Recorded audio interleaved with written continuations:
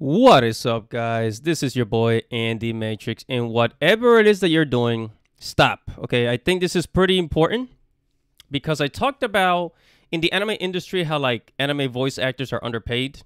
You know, like Funimation and Crunchyroll and other companies. Well, I mean, there's really only two right now, but anime anime voice actors are underpaid ridiculously, right?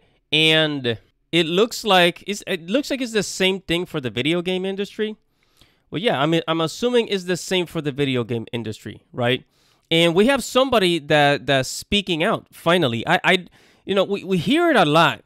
We hear it a lot from the anime anime voice actors. We don't hear it a lot from uh, video game voice actors because I'm just assuming because video games are more profitable that you know they pay their actors more. But let's find out because here we have Hellena Taylor, who is the voice actor for Bayonetta. She did Bayonetta 1, Bayonetta 2. And she is saying that for Bayonetta 3, they only offered her $4,000 for the whole game. Right? So here at IGN says Bayonetta voice actor Hellena Taylor says she didn't reprise the role of Bayonetta 3 as she was only offered $4,000. This is really cheap for an entire game. They should be getting paid at least $20,000. $20,000 for a whole game. Right? Like this is freaking ridiculous. Like I I'm I'm actually on her side. Now, because she is a woman, because she's a woman, some people are gonna try to turn this political. Like, you see, you see, um, women in Hollywood don't get paid a lot of money. Don't even try it. Please don't even try it. Okay, this is voice actors, male and female. Same thing in the anime anime industry, male and female. We're they're underpaid. That's just how it is. Let's go ahead and hear what she has to say. So here we go.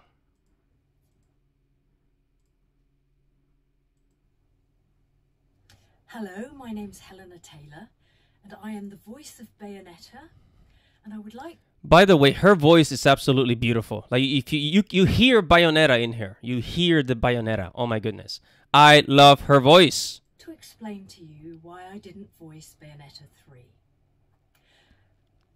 Bayonetta franchise made an approximated $450 million. That's not including merchandise. As an actor, I trained for a total of seven and a half years. Three years at the London Academy of Music and Dramatic Art, LAMDA, with voice coach Barbara Berkery, and four and a half years with the legendary Larry Moss in Los Angeles. And what did they think this was worth? What did they offer to pay me? The final offer to do the whole game as a buyout, a flat rate, was 4,000 US dollars.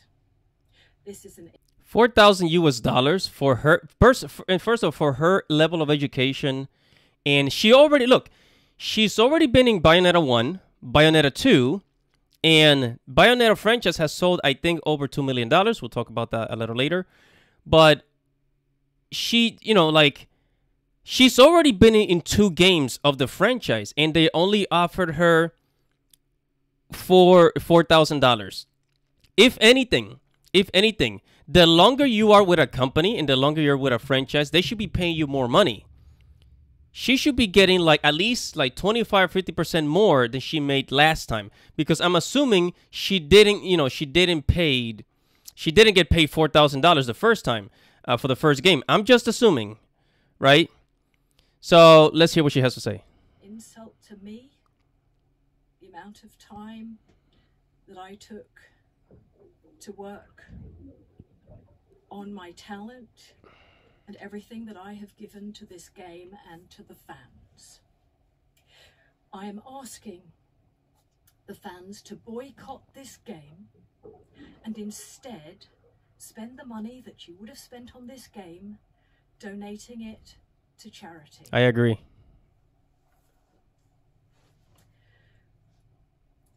I didn't want the world. I didn't ask for too much. I was just asking for a decent dignified living wage. What they did was legal, but it was immoral. And it's true, and it's true, and especially Nintendo. especially Nintendo, they do this all the time. It's like they, you know, they uh, they use their their employees. And, and what she said is right. They, what this company is doing, what Nintendo and other and other ga- gaming studios do, it is legal, but it's absolutely immoral.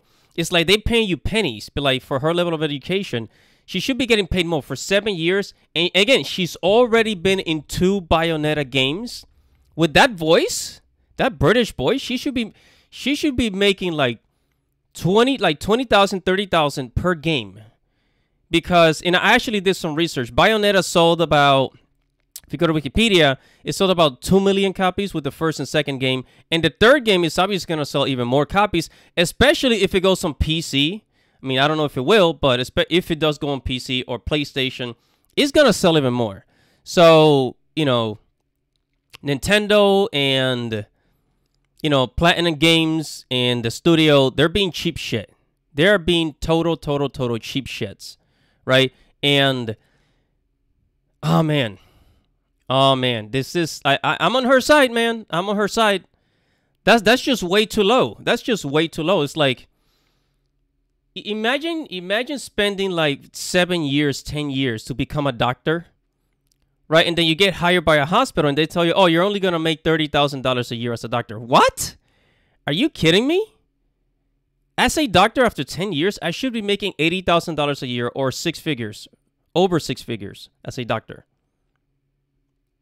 But hey, uh, let me know what you guys think. This is a big deal. This is serious.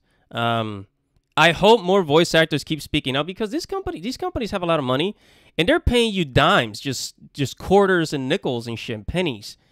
You know, compared to what they should be paying you.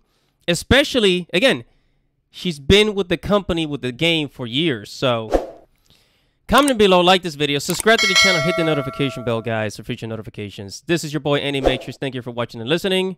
Godspeed.